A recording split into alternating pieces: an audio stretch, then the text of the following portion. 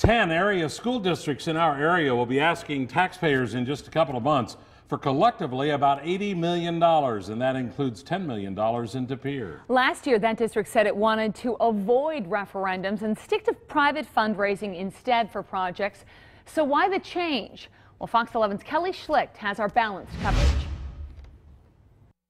Heritage Elementary Principal Kathy Van Pay says her building's entrance needs a safety upgrade. We still have an issue with our building entrance where our office is located over here, not not necessarily with our entry. That security improvement is part of a multi-million dollar unified school district of De Pere referendum.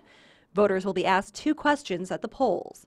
The first, allowing $7 million to be spent on maintenance to various buildings.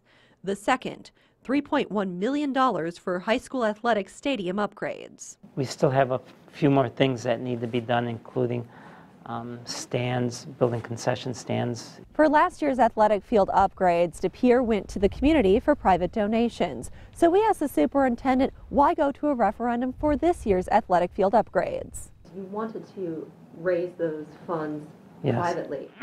what has changed in that year? Well, we still do, um, but we made a good faith effort, and through a lot of hard work, we raised 2.5 million. The universe for De Pere is small, but people gave and they gave generously. Out of that $2.5 million, 95000 came from just one night, the Diamonds and Denim fundraising event. We spoke with the organizer, Tricia Freeman.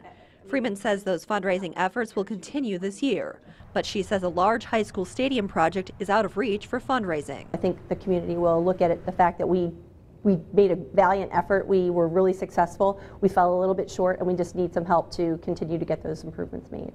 If the referendum passes, a taxpayer with a $150,000 assessed home would see their tax bill go up roughly $23. In De Pere, Kelly Schlicht, Fox 11 News. Now, ultimately, the voters will have the final say on this. The De Pere referendum is on the ballot for the April 7th election.